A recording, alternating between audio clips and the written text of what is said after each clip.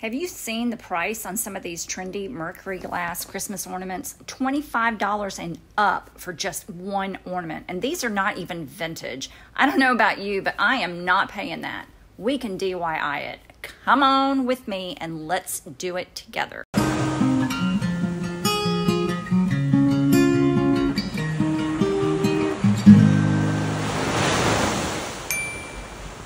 So here's what we need.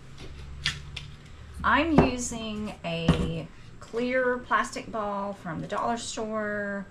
I don't, I guess this is probably a six inch um, ball that I'm going to take off the cap. I have some vinegar in a spray bottle. This is just plain white vinegar, although red wine vinegar would smell better. I don't know if I would use that. And then I have some various spray paints. This is a metallic um, have frosted glass, I think I'm going to use that. Um, gold, some hammered platinum, what do you call that? Hammered um, pewter. And then hammered copper. And I have a mirror. I have a mirrored one somewhere. I don't know what this one is. This is just metallic. Silver. Okay. So, I'm winging it, guys, because I don't really know what I'm doing. And I need my hair dryer. So I need to dry in between layers. So, I'm really, really curious about this. And I want to try it with, I think, some different different colors of metallic.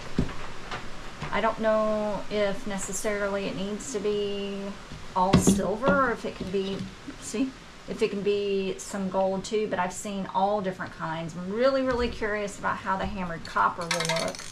I think that would look amazing, honestly. But I'm just going to try this um, metallic silver first. So I'm just going to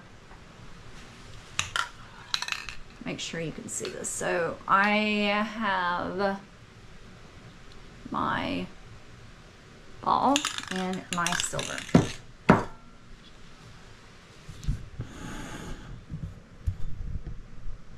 Okay, spray inside.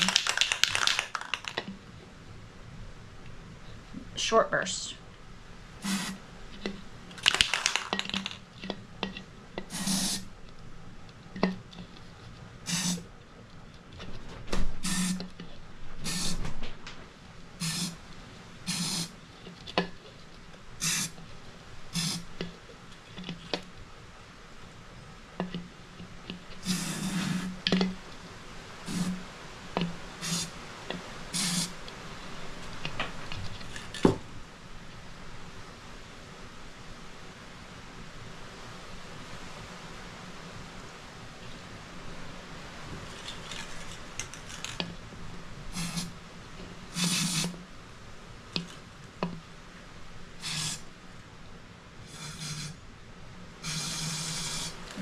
So I'm having to put a good bit of the just in there. Um, only because it's just such a big ornament. But it is looking like it is starting to spread a little bit.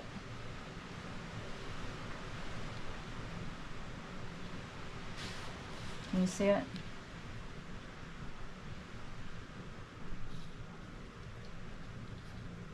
So I need to get some on this side.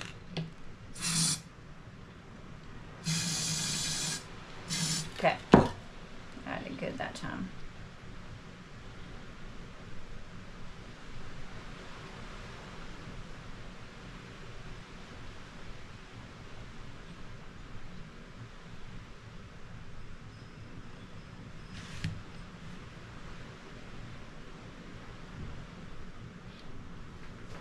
This is really kind of cool. Just to get that mercury glass look. And as I'm turning it looks like the paint is really starting to cover the spots on the inside of the ornament that didn't really get covered before. So you see that? It's starting to cover it. It's right there. And we want it kind of splotchy anyway. All right, let me try to get some more right there. I don't know if I can, but I'm gonna try it. I'm just turning it until I've got the look that I want and all the areas covered. It's really getting a splotchy look now inside. And that's exactly what I want. So that was the metallic silver. And I think I'm going to just, just for giggles, just for grins and giggles, I'm going to put some of this pewter and see what we get. I'm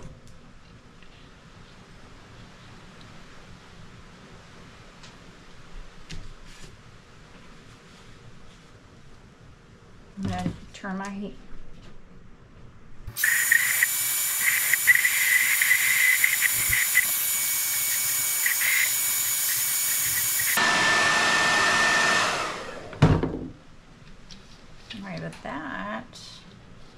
looks amazing already. Um, look at that. That's just so cool.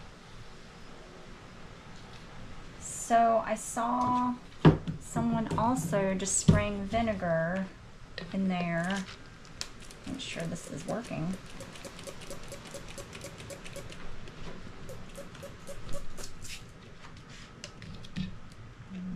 To spray, not stream. There we go.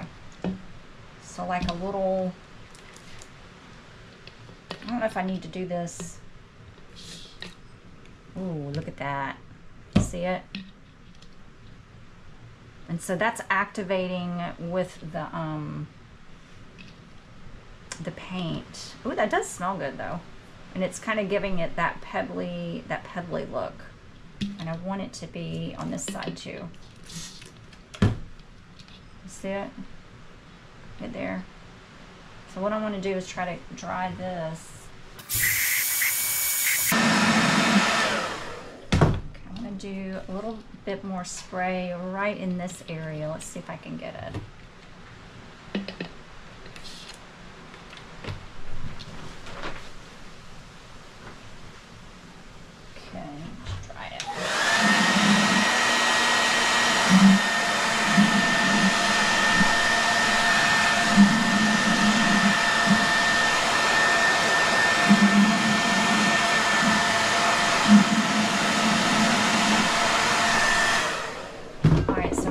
I don't know if it will work.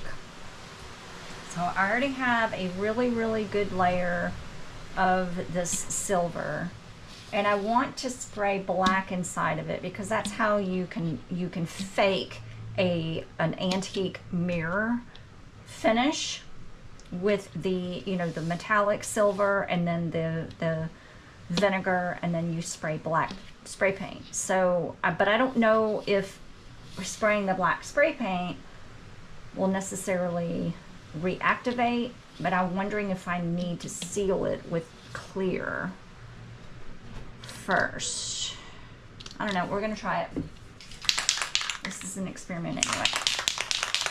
So I've got just flat black.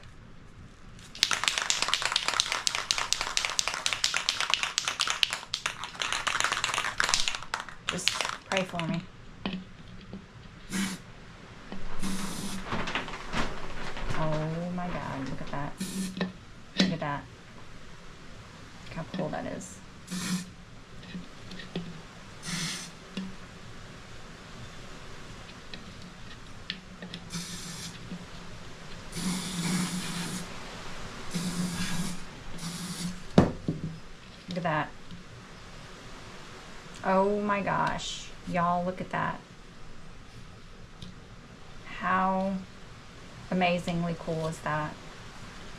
That looks really, really good.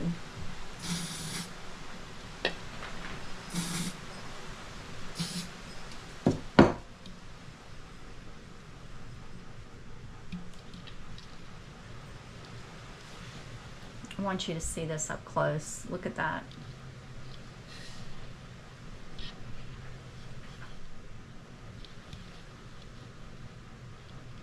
That is really amazing there.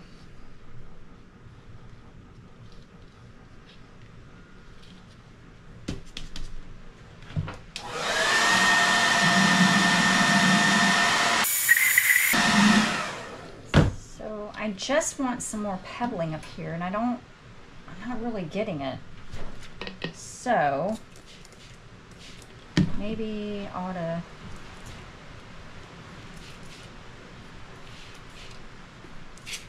No.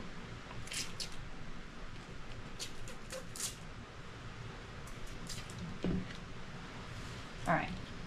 I'm to see if I can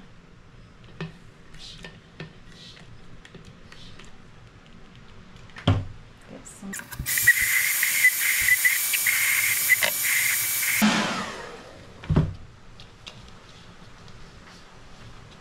That's really cool.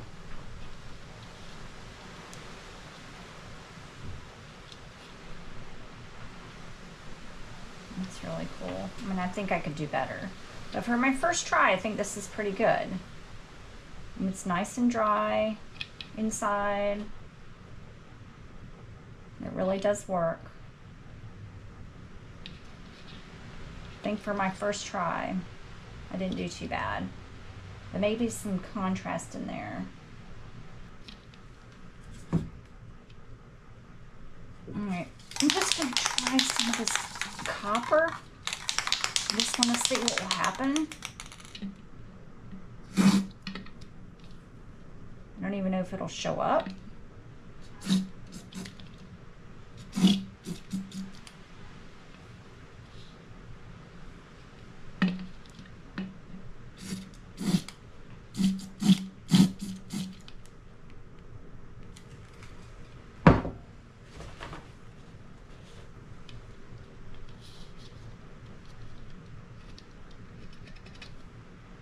Yeah, you can see it poking through a little bit. But just not, I think I've got too much paint right there to really get the look that I want, but I'm okay with it. Let's get a little bit more in here.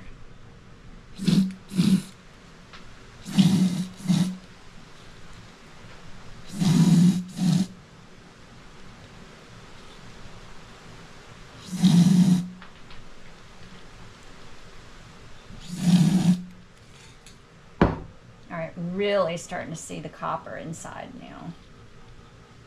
See it right there? Starting to get pebbly.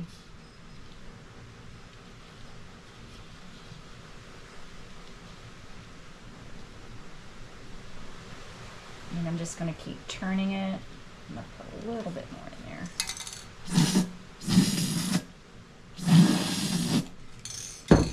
And I will wipe off that excess, but I can really see it in here now.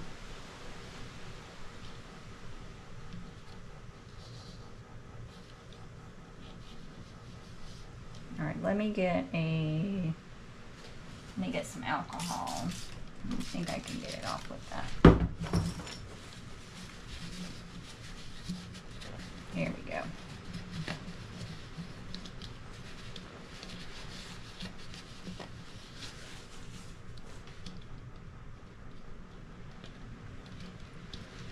All right, let's get the hair dryer in there.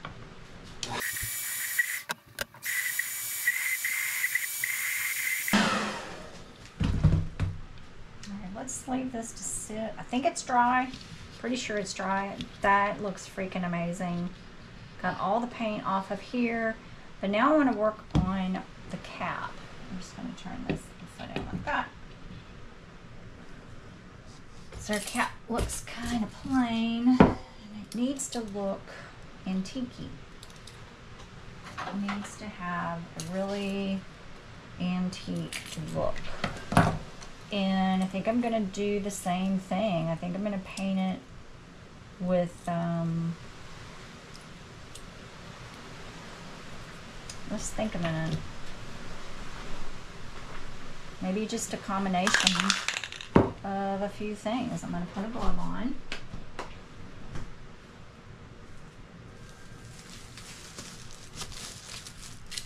And I'm going to hold it by the little bit there. And I think I'm just to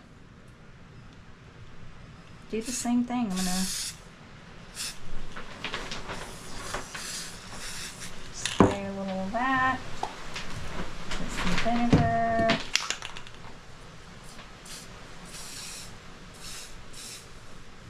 I don't think the vinegar really made much of a difference at all, but and if you if you press down the nozzle just a little bit, whoops, it will, it should kind of splitch out, splitch.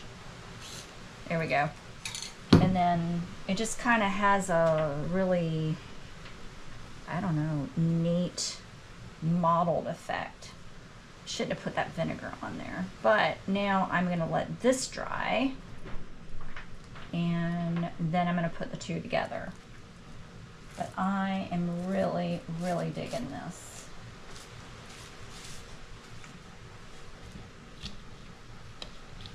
Mm-mm-mm. All right, let me dry this with the hair dryer.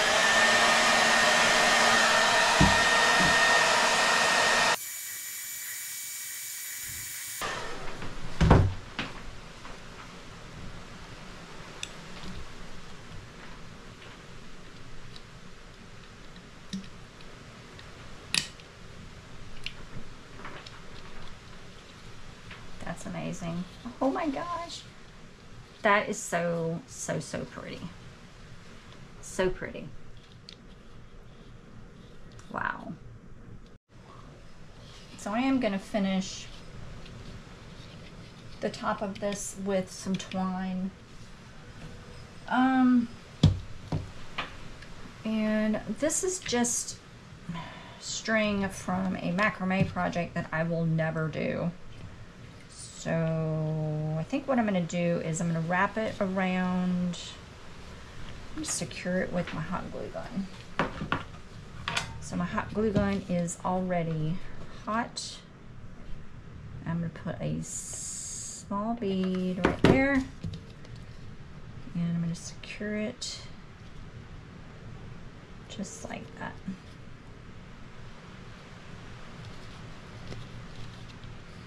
And then I'm just going to wrap around overlapping that first row and then just wrap around a few times. I'm secure you don't have to put glue on the whole thing. I'm to put a little dot just as I go. You don't need to glue the whole thing. That's overkill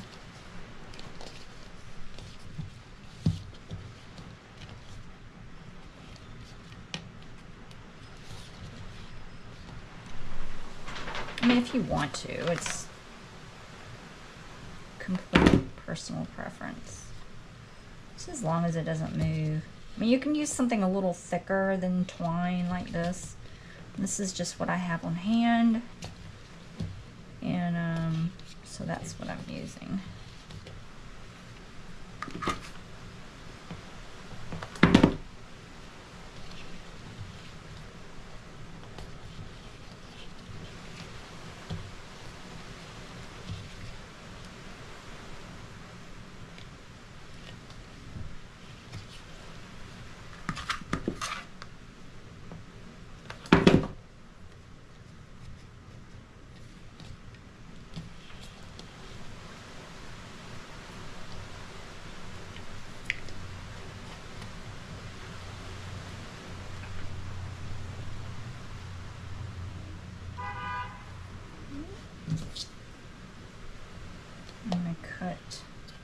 Tail off there.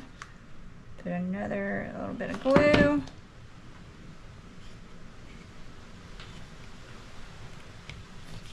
And there it is. My pretty faux mercury ornament. I love it. Let me know what you think. Let me know if you're going to try it. I love it. No, I mean, I honestly not bad for my first try. The copper is what did it. All right.